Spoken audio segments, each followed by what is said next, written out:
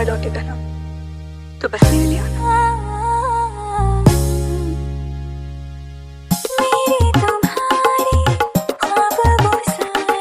Kamalama Music Production.